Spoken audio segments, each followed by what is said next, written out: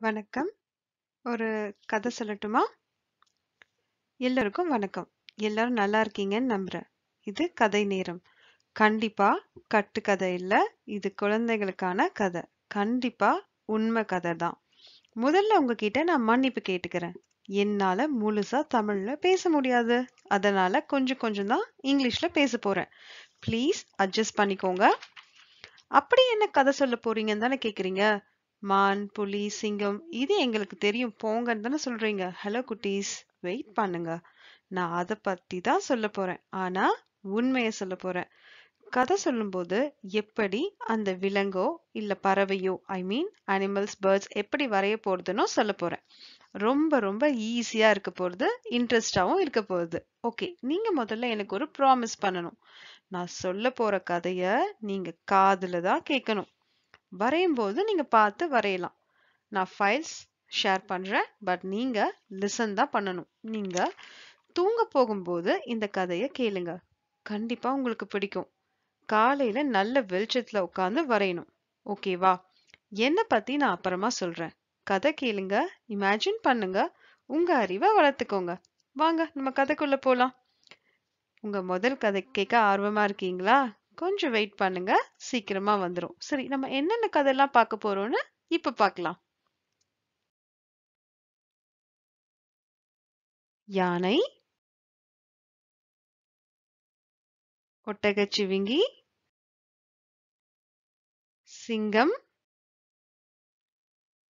பன்றி. நரி. காகம். கரப்பான்பூச்சி கிளி முயல் மண்புழு ஆந்தை மயில் சிலந்தி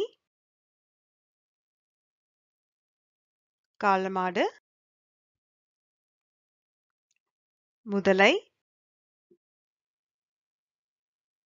ஸ்னெயில் உட்பேக்கர் சொல்லுவாங்களா மரக்கொத்தி வேல் உல்ஃப் பீட்டில் வண்டு புலி சிறுத்தை சீட்டா பட்டாம்பூச்சி நாய் கரடி குதிரை குரங்கு எறும்பு பாம்பு அவ்வளவுதானா? இன்னும் நிறைய கதைங்க இருக்கு. ஆர்வமா எதிர்பாருங்க. நன்றி.